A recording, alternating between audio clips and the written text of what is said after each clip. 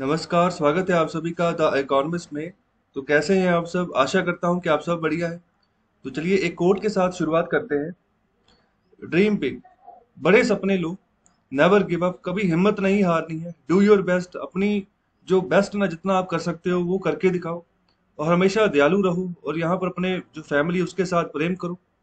और एक अच्छी एग्ज़ाम्पल सेट करो। तो मतलब कि ऐसी अच्छी एग्ज़ाम्पल सेट करने का मतलब कि जिससे कि आने वाली पीढ़ी आपसे सीखे। ओके मतलब कि जैसे आ, आपके आगे भी कुछ बच्चे आएँगे ओके मतलब जो कि स्टूडेंट के रूप में आपके सामने आएँगे तो उनके सामने एक आइडल बनना है आपने ओके तो एक एग्ज़ाम्पल सेट करनी है कि बच्चों को पता लगे कि जैसे हमारे सर यहाँ पर काम करते हैं जैसे उनकी रूटीन है जैसे वो आगे बढ़ रहे हैं वैसे ही हमने आगे बढ़ना है ओके तो उनको एग्ज़ाम्पल देनी है डायरेक्शन देनी है। तो एक मतलब एक काइंड हर्ट रखना है अपने पास परमात्मा से प्यार करना है उनमें विश्वास रखना है और आपको भी समझ आएगा कि मतलब सभी आपसे प्रेम करते हैं ओके तो मतलब ऐसा सिनेरियो बना के चलना है तो हमेशा ना जब सपना ही बड़ा नहीं होगा तो बहुत नीचे तक रहेंगे। जितना बड़ा सपना लेंगे ना तो उसका थोड़ा नीचे तक मिलता है हमेशा। ओके तो मतलब ये भी ना एक साइकोलॉजी साइकोलॉजिकल प्रोसेस होता है कि जितना बड़ा सोचोगे ज़रूरी नहीं कि वहाँ तक ही आप पहुंचोगे। ओके तो वहाँ से थोड़ा नीचे रहोगे तो ये आपकी सोच के ऊपर है। सोच हमेशा बड़ी रखो। ओके तो, तो छोटी सोच तक मत रहो बड़ी सोच रखो। कहीं ना कहीं आप जो है ना काफ़ी कुछ हासिल कर लोगे उसके रिगार्डिंग अगर बड़ी सोच लेकर चलते हो तो। तो चलिए आगे बढ़ते हैं। तो ये है आज का इकोनॉमिक टाइम्स न्यूज़पेपर तो ये है आज का एडिटोरियल पेज तो यहाँ पर देखो फ्रंट पेज पे ही न्यूज़ है। तो बंगाल में ममता बनर्जी की सरकार दोबारा से बनी है, तृणमूल कांग्रेस पार्टी की ओके तो अभी उसी के बारे में यहाँ पर बात कर रहे हैं। तो इसकी ना अच्छी खासी डिटेल इन सभी एडिटोरियल्स में दी गई है। तो यहाँ पर कुल मिलाकर ये चार पाँच एडिटोरियल्स ओके एक दो तीन चार पाँच एडिटोरियल्स तो इन पाँच एडिटोरियल्स में से यहाँ पर चार एडिटोरियल्स को डिस्कस करेंगे ओके तो उस सभी एडिटोरियल्स में इन्हीं के बारे में इलेक्शंस के बारे में ही बात की गई है। कहीं पर तमिलनाडु के बारे में कहीं पर बंगाल के बारे में कि आ, आगे वाला फ्यूचर सिनेरियो क्या हो सकता है उसके बारे में डिस्कशन है। तो आगे यहाँ पर बात कर रहे हैं फ्रंट पेज पे यहाँ पर जो सीरम इंस्टीट्यूट ऑफ़ इंडिया के जो सीईओ हैं आदार पूनावाला तो ये कोविशील्ड नाम की वैक्सीन बना रहे हैं तो जो कि आम सरकारी हॉस्पिटल्स में जो लगाई जा रही है वैक्सीन। तो अभी ये कह रहे हैं कि आने वाले दो तीन महीनों तक जो है ना, थोड़ी शॉर्टेज जो है देखने को मिल सकती है कोरोना वायरस वैक्सीन की, जो कि इनकी कंपनी बना रही है, सीरम इंस्टीट्यूट ऑफ़ इंडिया। तो यहाँ पर अभी बेसिकली इस फ्रंट पेज न्यूज़ के ऊपर हम डिस्कशन अभी करने जा रहे हैं तो ये फ़र्स्ट आर्टिकल में भी यहाँ पर बीजेपी की यहाँ पर जो प्राप्ति है ना, उनके बारे में बात कर रहे हैं कि नेशनल लेवल पर उनको कोई इतना नुकसान नहीं हुआ है बीजेपी को, उनको फ़ायदा ही हुआ है ओके तो यहाँ पर दूसरा जो आर्टिकल है तो यहाँ पर भी जो ज़्यादातर जो री इलेक्ट होकर आई है ना सरकारें पार्टीज़ दोबारा से जो यहाँ पर सत्ता में आई तो उनके बारे में बात कर रहे हैं कि कैसे आगे बढ़ सकते हैं वो, क्या सिनेरियो रहा। और ये वाला जो आर्टिकल है ओके तो यहाँ पर ऑपोजिट ऑपोजिशन पार्टी के लिए हम यहाँ पर बात कर रहे दीदी फॉर एवरी ऑपोजिशन पार्टी तो इसमें भी काफ़ी नई बातें हैं। तो मतलब हर एक आर्टिकल में कुछ नया मैं बताऊँगा यहाँ पर। ऐसा नहीं है कि अलग अलग मतलब सेम चीज़ ज़्यादा चलेगी। तो यहाँ पर जो लास्ट वाला आर्टिकल जो तमिलनाडु की जो यहाँ पर सत्ता है, उसके बारे में तो वहाँ पर भी अच्छे से मैं चर्चा करूँगा। और ये वाला जो आर्टिकल है, इसमें भी ओवरऑल पूरा सिनेरियो वही दिया गया है, जो हम इन चार आर्टिकल्स में डिस्कस करेंगे। ओके तो इसलिए मैं इसको डिस्कस नहीं करूँगा। ओके इस आर्टिकल को। तो इन चार आर्टिकल्स को हम अभी डिस्कस करने जा रहे हैं अच्छे से। तो पूरा का पूरा जिस्ट आपको, पूरी नॉलेज जो है ना, इस पूरे पेज के बारे में आपको हो जाएगी। ओके तो चलिए आगे बढ़ते हैं। तो लेक्चर शुरू करने से पहले एक लाइक ज़रूर कर दें शेयर करें इसे ज़्यादा से ज़्यादा। ओके तो इसके बाद अगर आपको पीडीएफ चाहिए तो टेलीग्राम चैनल का लिंक गिवन है डिस्क्रिप्शन बॉक्स में। तो यहाँ पर भी लिखा है तो यहाँ से भी आप टाइप करके जो है इस चैनल तक पहुँच सकते हो। तो वहाँ पर डेली बेसिस पे पीडीएफ जो है वो अवेलेबल होते हैं। तो चलिए आगे बढ़ते हैं। तो चलिए डिटेल में डिस्कस करते हैं एडिटोरियल नंबर वन को। तो यहाँ पर बात करें gains for BJP at the national level thanks to implosion of hills would be alternative यहाँ पर क्या बात कर बेसिकली स्टार्टिंग में बात करें कि अभी केरला की बात कर लें असम की बात कर लें, और अगर वेस्ट बंगाल की भी बात कर लें ना तो वहाँ पर भी मतलब मतलब कि सफलता नहीं पाई जा सकी है। तो यहाँ पर किसकी बात करें? यहाँ पर कांग्रेस पार्टी की बात कर रहे हैं ओके तो ये सब जगह हारी है केरला में भी हारी है असम में भी हारी है, और वेस्ट बंगाल में भी ये साइडलाइन कर दी गई तो यहाँ पर लेफ़्ट पार्टीज़ के साथ गठबंधन करके कांग्रेस पार्टी ने इलेक्शन लड़ा था। और मतलब कि ज़ीरो पे पहुँच गया लेफ़्ट ओके तो मतलब कांग्रेस पार्टी भी जो है ना मिनिमम एक सीट इसकी आई है। जो अभी शुरुआती जो रुझान थे ना, उसके हिसाब से एक सीट इनको मिल रही है।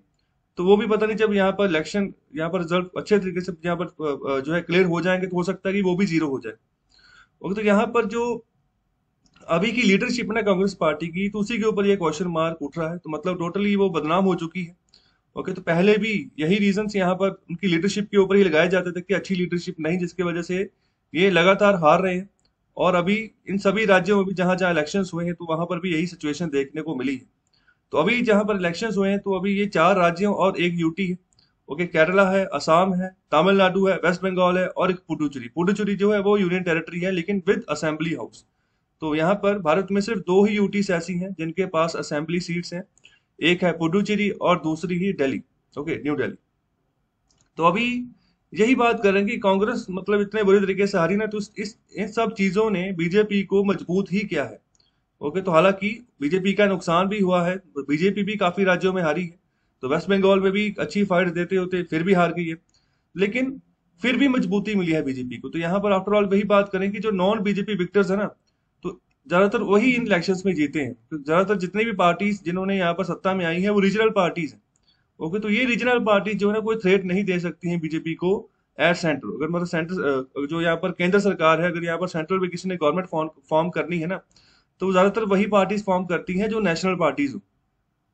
ओके तो जैसे अगर मैं बीजेपी की बात करूँ बीएसपी की बात करूँ, कांग्रेस की बात करूँ ओके इसके अलावा मैं सीपीआई की बात करूँ सीपीआई एम की बात करूँ ओके अगर इसके अलावा मैं एनसीपी की बात करूँ, जिसको हम बोलते हैं National Congress Nationalist Congress Party okay उसके बाद अगर मैं तृणमूल कांग्रेस की तृणमूल कांग्रेस पार्टी की बात करूँ, जिसको शॉर्ट फॉर्म में टीएमसी बोलते हैं ओके जो कि ममता बनर्जी की पार्टी है, और लास्ट में आती है एनपीपी तो ये सभी की सभी ना यहाँ पर राष्ट्रीय पार्टी है भारत की ओके कुल मिलाकर आठ राष्ट्रीय पार्टी है भारत की ओके तो मतलब कि ज़्यादातर राष्ट्रीय पार्टियों को ही ज़िम्मेदारी बनती है, वही आगे आती है, अगर केंद्र में सरकार बनानी हो तो, यहाँ पर अभी बीजेपी को कोई यहाँ पर थ्रेट नहीं है क्योंकि सभी के सभी ये रीजनल पार्टी है ज़्यादातर।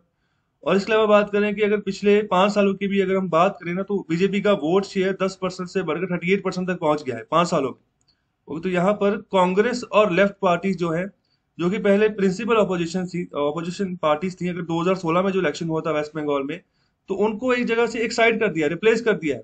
तो अभी जो प्रिंसिपल ऑपोजिशन पार्टी है टीएमसी के खिलाफ ममता बनर्जी के खिलाफ तो वो बीजेपी खुद है।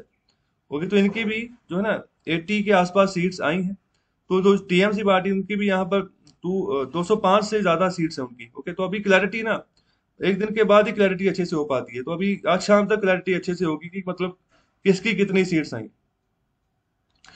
तो अभी वही बात कर रहे हैं। तो अभी उन्होंने जो यहाँ पर पॉलिटिकल एजेंडा अलग से बीजेपी ने अपना सेट कर दिया है वेस्ट बंगाल में। इसके अलावा बात करें केरला की भी अगर बात करें ना तो वहाँ पर भी बीजेपी ने जो यहाँ पर सोसाइटल डिस्कोर्स था मतलब जो समाज में इस तरीके से यहाँ पर विचारधाराएँ थी उस, उसमें थोड़ा बहुत यहाँ पर बदलाव लेने में कामयाब आई है। तो यहाँ पर जो सीपीआई पार्टी जो कि रूलिंग पार्टी थी ओके तो अभी ये बात कर रहे हैं इन 2021 के इलेक्शन के पहले की ओके तो यहाँ पर 2021 के इलेक्शन के पहले ये पहली पिछली बार कब हुआ था? 2016 में इलेक्शन हुआ था इन सभी जगह पर जब भी जहाँ पर अभी 2021 में इलेक्शन हुए ओके तो 2016 में जब इलेक्शन हुए थे ना केरला में तो बीजेपी की एक सीट आई थी। ओके तो अभी जो है ना, अभी जो इलेक्शन हुई 2021 में बीजेपी ज़ीरो पे आ गई है। ओके तो वो एक सीट भी चली गई है। तो अभी बात कर रहे हैं, जब बीजेपी की एक सीट आई भी थी ना तो उस समय की बात कर रहे हैं कि जब बीजेपी अपना माहौल बना रही थी धीरे धीरे केरला में तो उसने भी यहाँ पर, उसे यहाँ पर सामाजिक तत्व जिनको की जिसमें भी बदलाव वो लाया तो यहाँ पर फोर्स किया जो सीपीआई पार्टी, जो कि रूलिंग पार्टी है ओके पेनारी विजन की पार्टी है ये। तो अभी उनको भी यहाँ पर मजबूर कर दिया कि पश्चाताप करने के लिए, किस बात के लिए यहाँ पर पश्चाताप करने के लिए कि यहाँ पर इन्होंने यहाँ पर स्टैंड लिया था, जो वोमेन की यहाँ पर एंट्रिंग होती है सबरीमाला श्राइन में। ओके तो मतलब कि एक सबरीमाला श्राइन है, ये केरला में काफ़ी बड़ा यहाँ पर श्राइन है लॉर्ड लॉर्ड अयप्पा का ये यहाँ पर मंदिर है, जहाँ पर की जो वोमेन है ना, उनकी मतलब उनको जाना, उनके ऊपर पाबंदी लगाई हुई है। ओके तो लेकिन यहाँ पर जो सरकार है, राज्य सरकार सीपीआई पार्टी की तो इन्होंने सपोर्ट किया था कि वोमेन को यहाँ पर जाना चाहिए। ओके तो मतलब कि इस तरीके से बाद में उनको लगा पार्टी को कि हमने गलत यहाँ पर कहीं स्टैंड तो नहीं ले लिया, यहाँ पर बीजेपी पॉलिटिक्स तो नहीं खेल जाएगी। ओके तो यहाँ पर ये जो आंकड़े की जो बातें होती ना तो मतलब ये धार्मिक भावनाओं के साथ जुड़ी होती है। ओके तो धार्मिक भावनाओं में अगर थोड़ी बहुत भी किसी तरीके से छेड़छाड़ की जाए ना तो उसका पॉलिटिकल पार्टीज़ को नुकसान हो जाता है। ओके तो अभी धारणा ये कह रही है कि मतलब कि वोमेन को एंट्री नहीं करनी है, लेकिन सरकार जो थी वो सपोर्ट कर रही थी। लेकिन बाद में उनको लगा कि मतलब ये हमसे गलती हो गई है तो फिर बाद में उन्होंने पश्चाताप किया। ओके तो यहाँ पर इस तरीके का सिनेरियो बना। तो अभी क्यों यहाँ पर इनको एंट्री बैन करते तो यहाँ पर ना ये कंडीशन रखी हुई है कि जिनको लेडीज़ को यहाँ पर मैंसुरेशन आते हैं ना, जिनको हम पीरियड्स बोलते हैं पीरियड्स आते हैं तो दस साल से लेकर पचास साल तक की मतलब जितनी भी लेडीज़ हैं, उनकी एंट्री बैन पचास साल से ऊपर की अगर कोई लेडी है ना तो उसकी एंट्री बैन नहीं है, वो जा सकती है सबरीमाला श्राइन में। ओके और इसके अलावा यहाँ पर बीजेपी ने अपने कैंडिडेट्स को भी अपनी उस कॉन्स्टिट्यूंसी में प्रोत्साहित किया। और मतलब कि सीधी सीधी यहाँ पर ये बात कहते हैं कि हमें मुसलमानों की वोट्स नहीं चाहिए। हमें यहाँ पर सिर्फ़ हिंदू वोट चाहिए, जब भी हम बीजेपी की बात करें तो ये जब भी जहाँ पर भी इलेक्शन लड़ते हैं तो ये सेम ही यहाँ पर इनका यहाँ पर ना सिनेरियो देखने को मिलता चाहे उत्तर प्रदेश में हो।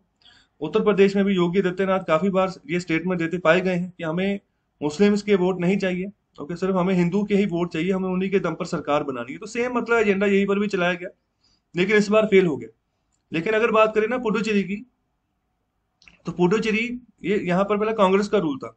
2021 से पहले कांग्रेस का रूल था, लेकिन अभी बीजेपी लग रहा है कि वो वहाँ पर पुडुचेरी में सरकार बना जाएगी। तो यहाँ पर भी क्या हुआ था? अभी 2021 की ही मैं बात कर रहा हूँ। अभी ये एक महीने पहले की बात है पुडुचेरी में।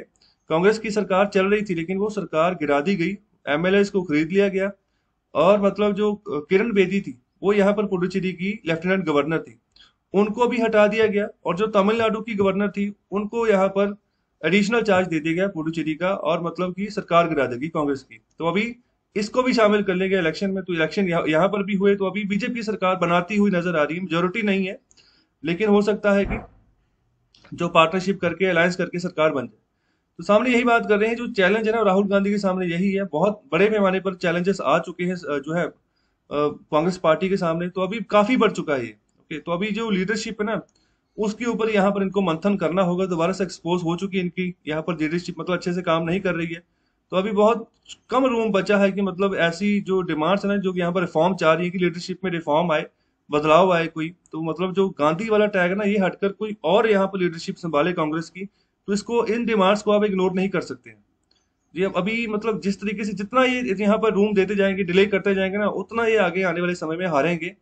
तो ये यहाँ पर ना सिनेरियो पेश किया गया तो लग भी ऐसा ही रहा है इनका scenario okay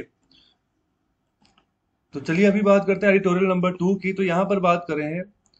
Complacence not an option for reelected तो कहने का यहाँ पर मतलब है कि दोबारा अगर आप री इलेक्टेड होना चाह रहे हो तो यहाँ पर प्रसन्नता उनमें से यहाँ पर कोई ऑप्शन नहीं है। मतलब कि जब भी, अभी देखो इलेक्शन रिज़ल्ट आए तो काफ़ी सारी पार्टीज़ ने जीता है। तो अभी उन्हीं के बारे में बात कर रहे हैं कि अगर कोई पार्टी दोबारा से री इलेक्ट हो जाए तो मतलब वो अलग से फीलिंग आती है। मतलब हैडी फीलिंग होती है कि हम मतलब काफ़ी अच्छा कर गए हैं और मतलब कॉन्फिडेंस बढ़ जाता है और काफ़ी खुशी होती है। तो यहाँ पर वही बात करें कि ये कोई ऑप्शन नहीं है। मतलब जिसके चलते आप दोबारा से री इलेक्ट हो जाओगे। तो यहाँ पर अभी बात करें कि जो यहाँ पर जो पदधारी लीडर्स थे मतलब कि जिनकी पहले सत्ता चल रही थी, जैसे केरला की बात कर रहे हैं असम की बात कर ले वेस्ट बंगाल की बात करें तो यहाँ पर उनके पास हर एक राइट है कि वो प्रसन्न हो, कि मतलब वो यहाँ पर अपने आप को वो प्रसन्न कर सकते हैं, वो डिजर्व करते हैं वो प्रसिद्धि, क्योंकि उन्होंने यहाँ पर दोबारा से जो है इलेक्शन जीता है। तो यहाँ पर अगर केरला की बात करें तो यहाँ पर जो है विजयन पेनारी की सरकार है।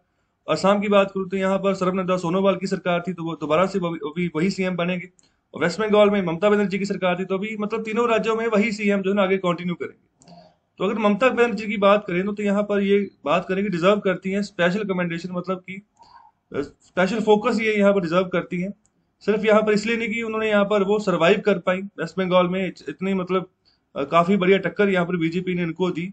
दूसरा यहाँ पर ये भी रीजन बता रहे कि इन्होंने अपना जो पार्टी का वोट शेयर है ना, वो भी काफ़ी बढ़ा लिया। ओके तो यहाँ पर एक ऐसी लड़ाई ममता बनर्जी ने अभी इन इलेक्शन में लड़ी, जिसमें जो इनकी यहाँ पर जो ट्रेडिशनल जैसे सेफ्टी हम कहें ना मतलब कि अपनी जो सीट थी, वो छोड़कर ना ये दूसरी किसी सीट के ऊपर इलेक्शन लड़ी थी, जिसमें ये हार गई। तो ये कौन सी सीट थी? ये नंदीग्राम वाली सीट थी जिसमें कि सुवेंदु अधिकारी, वो इलेक्शन लड़ रहे थे बीजेपी की तरफ़ से। तो अगर मैं बात करूँ ना सुवेंदु अधिकारी की तो वो भी टीएमसी के ही लीडर थे। ओके तो पिछली बार जब 2016 का इलेक्शन हुआ था तो वही वो भी ऑल इंडिया तृणमूल कांग्रेस की तरफ़ से ही यहाँ पर इलेक्शन लड़े थे और जीते थे।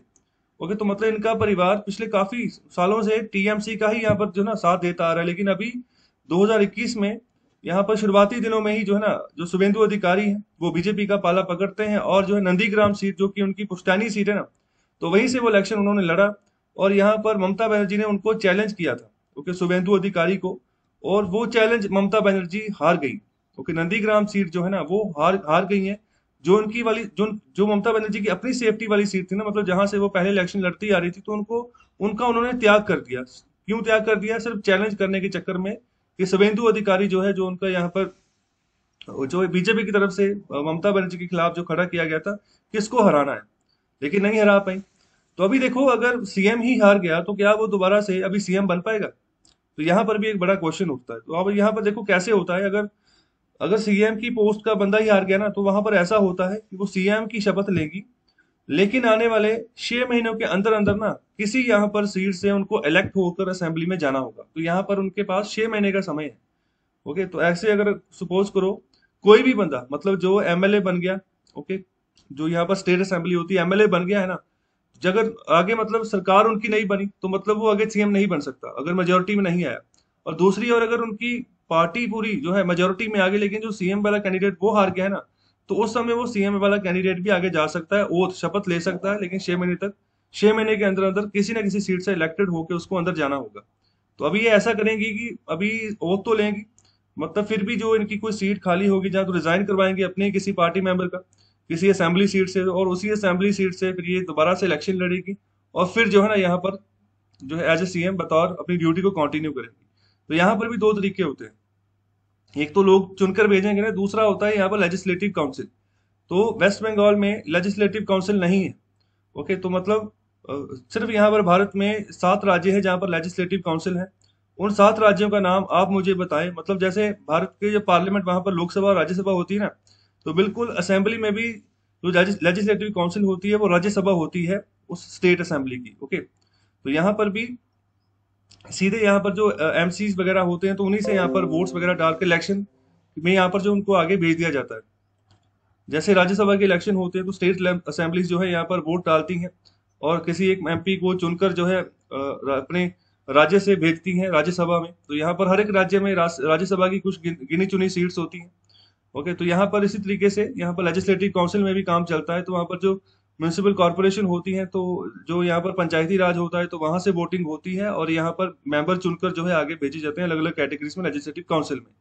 तो वहाँ पर फिर ऐसे ज़रूरत नहीं पड़ती है कि मतलब लोगों में जाओ और वहाँ सिलेक्टेड होकर जाओ तो ये भी एक प्रोविज़न है। लेकिन बंगाल में ये प्रोविज़न नहीं है।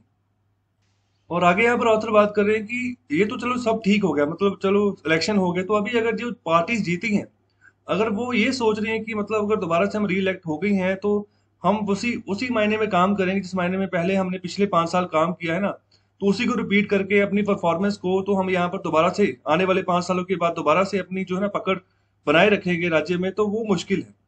ओके तो यहाँ पर बात करें कि मतलब पॉलिटिक्स जो होता है ना वो बदलती रहती है। उसमें बदलाव आता रहता है तो नए चैलेंजेस जो है ना वो सामने आते रहते हैं तो उसके हिसाब से हमें आगे बढ़ना होता है। तो ज़रूरी नहीं है कि जो पिछले पाँच सालों की परफॉर्मेंस है, कई बार ऐसे भी होता है पिछले पाँच सालों की जो परफॉर्मेंस हो तो उस हिसाब से इलेक्शन तो इलेक्शन में पार्टी जीत जाती है, लेकिन वही सोचती है कि जैसे मैंने पहले किया था तो आने वाले फ्यूचर में भी वैसे ही करूँगा। तो लेकिन कई बार वो हार भी जाती है, फिर अगले जो नए इलेक्शन आते हैं, पाँच साल के बाद।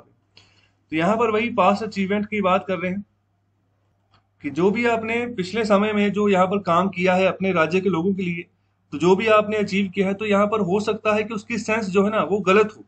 मतलब कि आने वाले समय में आप अंदाज़ा ना लगा पाए कि लोग क्या चाह रहे हैं क्या बदलाव जो है आप में चाह रहे हैं तो उस, उसके उस सेंस को यहाँ पर समझने की ज़रूरत है। ओके तो यहाँ पर हो सकता है कि प्रसन्नता की वो यहाँ पर गलत सेंस हो। वही बात कर रहे हैं कि ये आने वाले समय में बड़ी मिस्टेक के तौर पर आगे बढ़ सकती है। जैसे यहाँ पर पेनारी विजयन की बात कर रहे हैं जो कि केरला के सीएम है। ओके लेफ़्ट पार्टी को ये बिलोंग करते हैं जिसको हम सीपीआई बोलते हैं। Okay communist party of India तो यहाँ पर इन्होंने इम्प्रेस किया अपनी पॉपुलेशन को जितने भी मलयाली यहाँ पर जो इनकी आबादी है उनको, और ये आबादी जो है तीन करोड़ के आसपास है। केरला की अगर हम मलयाली लोगों की बात करें तो यहाँ पर मलयालम लैंग्वेज ऑफिशियल लैंग्वेज है केरला की। तो यहाँ पर उन्होंने अपने जो क्राइसिस मैनेजमेंट के स्किल्स थे ना तो उनको बखूबी यहाँ पर निभाया, और जिसके चलते लोग इम्प्रेस हुए। और यहाँ पर ये भी बात कर रहे हैं कि जो स्टेट होता है ना तो हो सकता है कि वो परमानेंट क्राइसिस में ना हो ओके तो यहाँ पर हो सकता है कि आने वाले समय में जो है ना वोटर्स को अगर इम्प्रेस करना है तो आप ना कर पाए।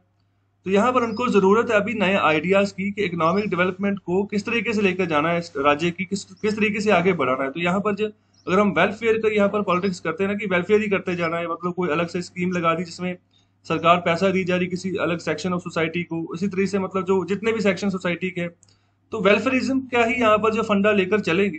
तो यहाँ पर ज़रूरी नहीं कि मतलब कि यहाँ पर जो है ना, सही तरीके से आप आगे परस्यू कर पाओ। तो क्राइसिस मैनेजमेंट के समय पे ज़्यादातर सरकारें यहाँ पर वेलफेयर का ही यहाँ पर ना सिक्का चलाती हैं। यही बड़ा एजेंडा लेकर चलती हैं कि लोग जो है ना प्रभावित हों और हमारी पार्टी के साथ जो है जुड़े रहे। लेकिन यहाँ पर ऑथर बात करें कि नए आइडियाज़ की ज़रूरत है। इस पॉलिटिक्स से भी हमें आगे बढ़ना होगा। और आगे यहाँ पर बात करें बीजेपी के बारे में तो असम में बीजेपी दोबारा से वापसी कर रही है तो उनको एक तरीके से फ्री पास मिला है। फ्री पास कहने का मतलब कि कोई राइवल था ही नहीं। अगर कांग्रेस की भी बात करें तो अच्छे से वो यहाँ पर अच्छे से मुकाबला ही नहीं कर पाई बीजेपी का तो यहाँ पर वही बात कर रहे हैं तो यहाँ पर धन्यवाद दे रहे हैं जो यहाँ पर लिस्ट लेस कांग्रेस लीडरशिप थी उस राज्य में मतलब कि पता ही नहीं कि कौन यहाँ पर लीड कर रहा है पार्टी को किस तरीके से यहाँ पर अप्रोच लगानी है बीजेपी के खिलाफ तो यहाँ पर ये कुछ यहाँ पर काम हुए कांग्रेस लीडरशिप के द्वारा बीजेपी के साथ मतलब किस तरीके से यहाँ पर कांग्रेस पार्टी ने इलेक्शन लड़ा है असम में तो यहाँ पर ये बात कर रहे हैं कि कांग्रेस पार्टी को यहाँ पर छोड़ दिया गया किनके सहारे यहाँ पर जो तीन बार लगातार मुख्यमंत्री रहे हैं कांग्रेस पार्टी की तरफ़ से असम के तो उनके जो वंशज हैं और उन्हीं के सहारे जो ना असम में पार्टी को छोड़ दिया गया। ओके तो मतलब कि पता ही नहीं क्या साख है, किसको बचाना है तो उनको तो यहाँ पर जिस तरीके से आगे बढ़ना, हो सकता है एक्सपीरियंस की कमी हो। मतलब कि सिर्फ़ और सिर्फ़ कुछ गिने चुने बंदों के ऊपर ही ना पूरा दारमदार डाल दिया गया। तो यहाँ पर अगर मैं बात करूँ ना तो ये जो तीन बार मुख्यमंत्री बने हैं असम के तो ये लॉन्गेस्ट सर्विंग सीएम है असम के। ओके जो कांग्रेस पार्टी को बिलोंग करते थे और ये 2001 में बने थे सीएम और 2016 तक ये रहे थे। ओके तो मतलब कि तीन बार लगातार बने थे, अच्छी खासी विक्ट्री इनकी थी, इनका नाम था तरुण गोगोई ओके तो ये इनकी डेथ हो गई है 2020 में। और इनके रहते काफ़ी अच्छी खासी लीडरशिप बन चुकी थी कांग्रेस पार्टी की असम में। ओके मतलब बीजेपी का ऐसा नहीं लग रहा था कि कभी वापस ही करेगी, कभी सरकार भी बनाएगी, लेकिन अभी लगातार वही आएगी। तो सर्वनंदा सोनोवाल जो है ना, वही जो है बतौर मुख्यमंत्री, सेवा निभाएँगे आगे तो यहाँ पर बीजेपी के लिए बात कर रहे हैं उत्तर की, ऐसा हमेशा नहीं होने वाला है कि मतलब कि आपके सामने जो कैंडिडेट खड़ा है, जो आपके सामने जो पार्टी खड़ी है, वो वीक हो। ओके तो समय बदलेगा पॉलिटिक्स बदलेगी तो यहाँ पर चेंजेस देखने को मिलेंगे। तो यहाँ पर बीजेपी को ना, यहाँ पर सोल्यूशन ढूंढना होगा। यहाँ पर जो एनआर एनआरसी जो क्राइसिस है ना, जो कि बीजेपी के द्वारा क्रिएट किया गया है असम में तो इस क्राइसिस के बारे में सोल्यूशन ढूंढना होगा। तो ये क्राइसिस कैसे हो गया? एनआरसी यहाँ पर क्या है? तो एनआरसी का मतलब है नेशनल रजिस्टर फॉर सिटीजन तो भारत सरकार ने असम में ये एनआरसी लगाया था जिसकी बकौदा इसके ऊपर काफ़ी पैसा खर्चा हुआ हज़ारों करोड़ के हिसाब से। तो इसमें ऐसा था कि जितनी असम की आबादी है तीन करोड़ से ऊपर की आबादी है इसकी। और इसमें जो भी लोग मतलब कि जो जैसे ज़्यादातर जो मुस्लिम लोग हैं ना जैसे जो कि बांग्लादेश से आसाम में आ गए हैं तो उनको किसी ना किसी तरीके से निकालना था। ओके तो इस, इसलिए यहाँ पर एनआरसी बनाई गई। और इसमें ऐसा रखा गया कि 1971 का यहाँ पर एक टाइम लैग रखा गया 1971 क्योंकि 1971 में ही बांग्लादेश बना था। ओके तो पहले वो ईस्ट पाकिस्तान था। तो 1971 के हिसाब से यहाँ पर बात की गई कि जो भी बंदा, चाहे वो हिंदू हो, चाहे मुस्लिम हो, अगर 1971 से पहले का असम में रह रहा तो अपनी जो सिटीजनशिप है तो वो उसको प्रूव करे। तो मतलब जो भी डॉक्यूमेंट्स पर्याप्त चाहिए कि आप 1971 के पहले से यहाँ पर रह रहे हैं। अगर नहीं, वो अपने आप को साबित कर पाता तो फिर यहाँ पर अलग से लिस्ट बना दी गई है, उनको यहाँ पर जो है ना अलग से सेंटर बना दिए गए हैं तो वहीं पर रखा जाएगा। तो आगे उनके साथ क्या किया जाएगा? बंगाल, जो बांग्लादेश की सरकार है, शेख हसीना की, उन्होंने भी यहाँ पर क्वेश्चन मार्क किया था कि ये जो आपने लोग रखे हैं मतलब एनआरसी में जो शॉर्टलिस्ट करती हैं, जो अपनी आइडेंटिटी प्रूफ नहीं कर पाए कि वो असम के ही रहने वाले हैं तो उनको क्या बांग्लादेश में भेजोगे? तो उस समय होम मिनिस्ट्री का जवाब आया था कि ऐसा कुछ नहीं हम करेंगे, लेकिन फ्यूचर का पता नहीं कि क्या होगा। तो इसमें ऐसा था कि ज़्यादातर मुस्लिम्स निकल कर आ रहे थे, लेकिन पहले 40 लाख, जो पहला जिन्होंने यहाँ पर ड्राफ्ट तैयार किया था उसका जो रिज़ल्ट आया था वो यहाँ पर 40 लाख यहाँ पर लोग थे, जिसमें ज़्यादातर मुस्लिम्स थे। लेकिन जब फाइनल ड्राफ्ट आया इसका तो उसमें इनकी आबादी जो ना, गिनती जो होती है, उन्नीस लाख रहेगी कि मतलब उन्नीस लाख ऐसे लोग हैं आजाम में, जो अपनी आइडेंटिटी प्रूफ नहीं कर पाए। तो इसमें ज़्यादातर यहाँ पर हिंदूज की भी काफ़ी यहाँ पर जो है ना, जनसंख्या यहाँ पर आ गई, जिसके चलते अभी एनआरसी का भी एक तरीके का क्राइसिस बन चुका है। क्राइसिस कैसे की? वो ऐसे है कि बहुत सारे लोग ऐसे भी हैं कि जिनकी मतलब जिनके पास कोई प्रूफ था ही नहीं, लेकिन अपनी अप्रोच लगाकर उन्होंने प्रूफ वगैरह बना लिए। ओके तो जो मतलब यहाँ के थे ही नहीं। अपने मतलब अप्रोच लगाकर प्रूफ बना लिया और अपने आप को साबित कर दिया कि हम यहीं के थे। 1971 से पहले से यहाँ पर रह रहे हैं। और कुछ जो लोग ऐसे थे जो यहीं के रहने वाले थे, लेकिन वो अप्रोच नहीं लगा पाए, इतना पुराना डॉक्यूमेंट नहीं पेश कर पाए और उनको यहाँ पर इस लिस्ट में डाल दिया गया एनआरसी में। तो ये यहाँ पर सिचुएशन है। तो अभी इसी का फ़ायदा उठाया था कांग्रेस पार्टी ने। वो यही बार बार बोल रहे थे इलेक्शन में कि जब वो सत्ता में आएँगे तो एनआरसी को हटाएँगे। तो यहाँ पर तो भारत सरकार नेशनल एनआरसी जो है ना, वो लाने वाली है, जिसमें कि पूरे इंडिया में इस तरीके से यहाँ पर ना देखा जाएगा कि कौन इंडिया है, इंडियन है एक्चुअली में। तो यहाँ पर जो बांग्लादेशी मुस्लिम जहाँ पर और भी जो घुसपैठी हैं, उनको निकालने की यहाँ पर बात कर रहे हैं। और आगे यहाँ पर बात कर रहे हैं ममता बनर्जी की। तो यहाँ पर ममता बनर्जी की बात करें तो उन्होंने भी यहाँ पर काफ़ी बढ़िया काम किया। तो यहाँ पर जो बीजेपी की कैंपेन उनके खिलाफ चली, ओके तो यहाँ पर जो उनकी शांति की जो पॉलिटिक्स थी ममता बनर्जी की तो यहाँ पर काफ़ी बड़ा इनकी फ़ैन फॉलोइंग बन गई ओके जो उनके यहाँ पर बंगाली लोग थे उनके आसपास। तो यहाँ पर जो लोग चाह रहे हैं ना फर्दर लोग यही चाह रहे हैं कि यहाँ पर कम से कम करप्शन हो। ओके तो मतलब जो नफरत है, उसका कल्चर यहाँ पर खत्म हो तो जो पोलिटिकल वायलेंस है, उसका कल्चर भी यहाँ पर खत्म हो। लास्ट में यही बात कर रहे हैं कि even if successful politicians are ill disposed towards unsolicited advice तो कहने का मतलब चाहे जो यहाँ पर जो सक्सेसफुल जो सियासतदान है मतलब कि जो अभी सरकारें बना पाए तो हो सकता है कि जो यहाँ पर गैर कानूनी जो सलाह उनको दी जा रही तो उसके प्रति यहाँ पर जो ना, यहाँ पर गलत तरीके से वो अप्रोच लगा रहे हो। तो मतलब ये भी चाहे सनैरियो हो, लेकिन जो ओवरऑल जो जनता चाह रही ना, वो उनको यहाँ पर प्रदान करते रहना है। तो यहाँ पर पॉलिटिक्स है पॉलिटिक्स में बहुत कुछ चलता है। ओके तो कोई जीतता है, कोई हारता है तो सिनेरियो अलग अलग अलग तरीके से होते हैं। ओके तो अभी देखो, अभी इलेक्शन हो गए, जितने भी ब्लेम लगने थे, सब कुछ खत्म है। तो अभी सिर्फ़ पाँच साल तक की सत्ता चलेगी और यहाँ पर गवर्नेंस देने की कोशिश की जाएगी, जो जो भी यहाँ पर चुनकर आए। तो चलिए अभी बात करते हैं एडिटोरियल नंबर थ्री की। तो यहाँ पर हम बात करने जा रहे हैं ए फॉर एवरी ऑपोजिशन तो अभी शुरुआत में बात कर रहे हैं कि ममता बनर्जी ने जो ना, एक हिंट दिया था तो यहाँ पर एक कैंपेन इलेक्शन कैंपेन चल रहा था, उसके दौरान यहाँ पर बात कही गई थी कि यहाँ पर ना वो अटेंशन दे सकती हैं दिल्ली की ओर। मतलब कि जो दिल्ली की सत्ता है, जो सेंट्रल गवर्नमेंट की जो सरकार है तो उसकी ओर अटेंशन दे सकती है। तो यहाँ पर बहुत सारे जो सेवरल ऑपोजिशन लीडर्स हैं, जैसे यहाँ पर शरद पवार हो गए तो ये नेशनलिस्ट कांग्रेस पार्टी के लीडर है। ओके तो ये भी एक राष्ट्रीय पार्टी है भारत की तो ये महाराष्ट्र से बिलोंग करते हैं। अभी इनकी सरकार चल रही है महाराष्ट्र में तो जो शिवसेना के जो यहाँ पर सीएम है, वहाँ पर उद्धव ठाकरे तो इनकी गठबंधन सरकार है। ओके तो यहाँ पर इस गठबंधन का नाम दिया हुआ है महाराष्ट्र विकास अघाड़ी ओके एमपीए गठबंधन इसको बोलते हैं, जिसमें शिवसेना है एनसीपी है और कांग्रेस पार्टी। ओके तो बीजेपी को एक साइड पे कर दिया गया है। ओके तो अभी दूसरे यहाँ पर तेजस्वी यादव है, जो कि बिहार के डिप्टी सीएम रह चुके हैं तो अभी हाल ही में बिहार में इलेक्शन है 2020 में दिसंबर में तो ये हार गए। ओके तो नीतीश कुमार ने दोबारा सरकार बना ली। हालाँकि इनकी पार्टी की यहाँ पर काफ़ी सीट्स आई थी, लेकिन फिर भी ये सत्ता में नहीं आ पाए ये लालू यादव के बेटे हैं। इसके अलावा अखिलेश यादव, इनकी सरकार रही है उत्तर प्रदेश में। ओके तो अभी जब योगी आदित्यनाथ की सरकार बनी थी, उससे पहले इन्हीं की सरकार थी, समाजवादी पार्टी की। और ये जो है, इनको अपने पिता से यहाँ पर विरासत मिली है अखिलेश यादव को। तो इनके पिता का नाम था मुलायम सिंह यादव। तो वो भी सीएम रहे उत्तर प्रदेश के। और आगे अरविंद केजरीवाल, जो कि दिल्ली के अभी मौजूदा सीएम है तो ये सभी अलग अलग अलग यहाँ पर ऑपोजिशन पार्टी के लीडर्स हैं। ओके तो यहाँ पर अगर इनके साथ जो है ना, आगे मिलकर बात बन सकती है तो यहाँ पर यही बात कर रहे हैं ऑथर कि जो सभी लीडर्स हैं, इन्होंने अपनी सपोर्ट दी है ममता बनर्जी को। कि वो चाह रहे हैं मतलब कि वो आगे बढ़े, लेकिन ये सब बातें अभी जो ना सिर्फ़ और सिर्फ़ साइकोलॉजिकल लेवल पर हो रही है। मतलब कि एक तरीके से ना, देखो पार्टी बाजी में क्या होता है कि यहाँ पर भी एक साइकोलॉजी बनाई जाती है। तो कई बार ऐसा होता है कि साइकोलॉजिकली यहाँ पर हराने की कोशिश की जाती है दूसरी पार्टी को। देखो, हम यहाँ पर कितने बड़े पैमाने पर हमारा गठबंधन हो गया है तो आपकी सत्ता तो गई। तो इलेक्शन जब कैंपेन चल रहे होते हैं, जब रैली चल रही हो तब यहाँ पर यही किया जाता है इस पार्टी की तरफ़ यहाँ पर शक्ति प्रदर्शन किया जाता है। ओके, बताया जाता है कि देखो, हमारे पास इतने इतने पार्टीज़ में जो यहाँ पर बड़े बड़े लीडर्स हैं तो हमारे साथ जुड़े हुए हैं तो हमारी पार्टी ही आएगी। ओके तो इस तरीके से यहाँ पर साइकोलॉजिकल लेवल की बात कर रहे हैं तो अभी इन्होंने सपोर्ट तो दी है, अभी मतलब फ़िज़िकल फॉर्म में भी आगे जो है ना, ये भी कन्वर्ट होनी चाहिए प्रैक्टिकली तो वही बात कर रहे हैं कि अभी जो है ना उनके पास यहाँ पर मौका है तो मतलब कि दोबारा सत्ता में वो आ गई है, ममता बनर्जी, अच्छी खासी यहाँ पर लीड लेकर आई है।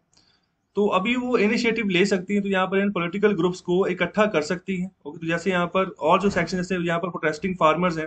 तो अभी जब बंगाल में इलेक्शन हुए तो यहाँ पर जो फार्मर्स थे तो वहीं पर जाकर भी ये रैलीज कर रहे थे। ओके मतलब कि अपना जो सपोर्ट जो था ममता बनर्जी को, वो दे रहे थे। तो यहाँ पर वही बात कर रहे हैं कि उनको भी यहाँ पर साथ में लेकर चल सकती है। तो एक कॉमन प्लेटफॉर्म जो है ना, बनाया जा सकता है। तो सेंट्रल गवर्नमेंट के खिलाफ मतलब कि अगर 2024 में जो इलेक्शन हो ना तो उसमें कोशिश की जा सकती है कि ममता बनर्जी को प्रोजेक्ट किया जाए एज ए पीएम तो यहाँ पर ये बात कही जा, कही जा रही है उत्तर के द्वारा।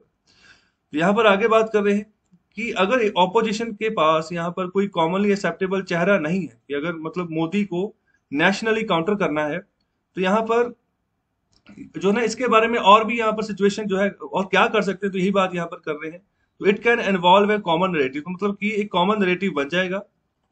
और उस कॉमन नरेटिव में क्या कर सकती हैं? मतलब कि ये जो हमारे जितने भी लाइक माइंडेड पार्टी उनको इकट्ठा करें और यहाँ पर दबाव बनाना शुरू कर दे बीजेपी के ऊपर। ये तो कर सकते हैं ना मतलब कि जब ऑपोजिशन ही मतलब बड़े पैमाने पर इकट्ठे हो और एक कॉमन नरेटिव मतलब बनाए, एक मतलब नई धारणा रखें कि हमने यहाँ पर बीजेपी की सरकार को अपोज करना है। कहने का मतलब कि अगर अच्छी खासी ऑपोजिशन होगी ना, तभी जो सत्ता में गवर्नमेंट है, वो सही से रूल कर पाएगी।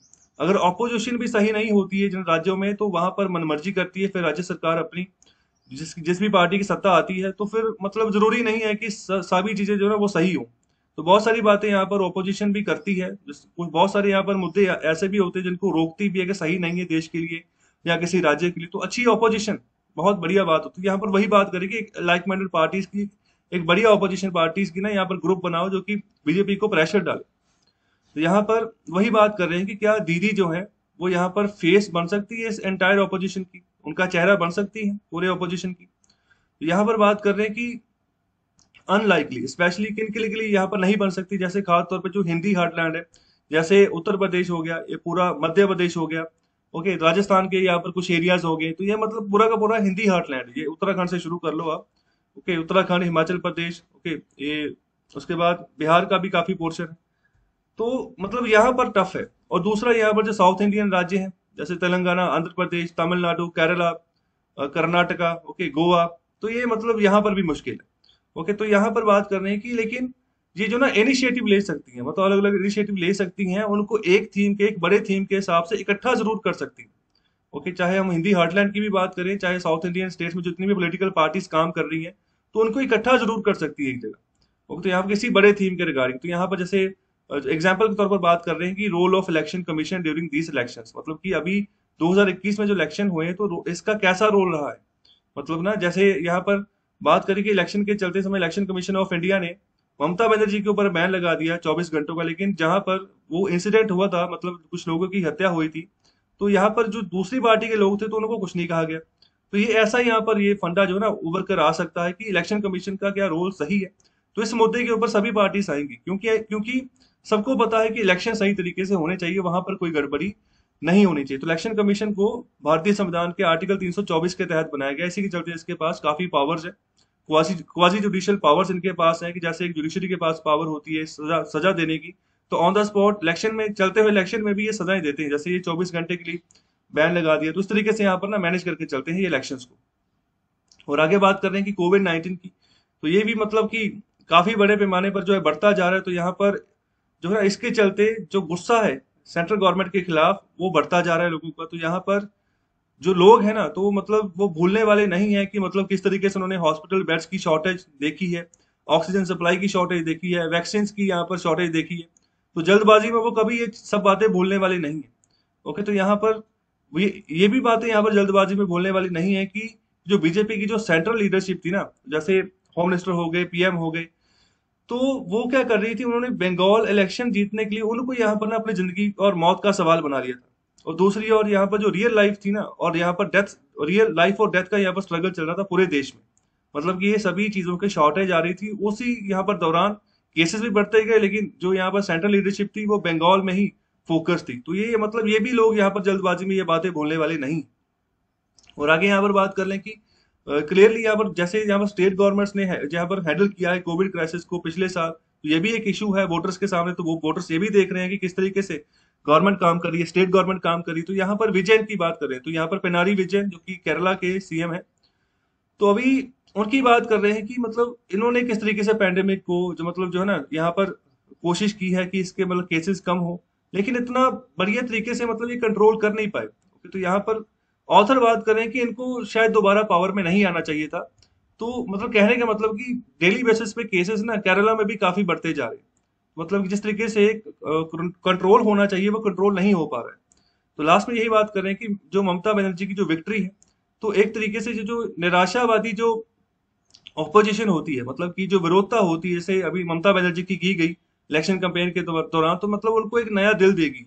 ओके मतलब कि मतलब जहाँ जहाँ पर भी, जिस जिन भी यहाँ पर राज्य में, यहाँ पर नॉन बीजेपी की सरकारें हैं ना तो उनको भी एक नया बल मिलेगा। ओके मतलब कि अगर उनका विरोध हो रहा है तो ममता बनर्जी अगर दोबारा लड़के वापस आ सकती है तो कोई भी आ सकता है। मतलब कोई भी अगर अच्छे से, अगर सही तरीके से आगे बढ़ता है तो आ सकता है। तो यहाँ पर शिवसेना जो है, जो कि महाराष्ट्र में जिनकी सरकार है तो वो भी मतलब ऑलरेडी मतलब जो है, अभी जो बंगाली शेयर नहीं है तो उनका स्वागत कर चुकी है। मतलब ये जीते हैं, धन्यवाद उनको यहाँ पर बधाई जो है वो दे चुके हैं।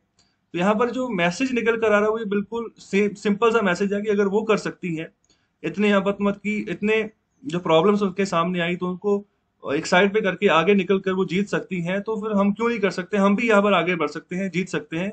अगर हम यहाँ पर कोरोना वायरस की भी बात करें तो इसको भी हम फतेह कर सकते हैं तो हमारे ऊपर है ये मतलब किस तरीके से हम जो है फ़िज़िकल डिस्टेंसिंग मास्क वगैरह पहन के चल रहे अगर एक मास्क जो पहन लिया, अगर बाहर से घर गए तो उस मास्क को हमने डस्टबिन में डाल देना है क्योंकि दोबारा से नया मास्क लगाना है। क्योंकि इतना महँगा नहीं आता, लेकिन मतलब इस तरीके से हमने आगे बढ़ना कि कोरोना वायरस ना फैले।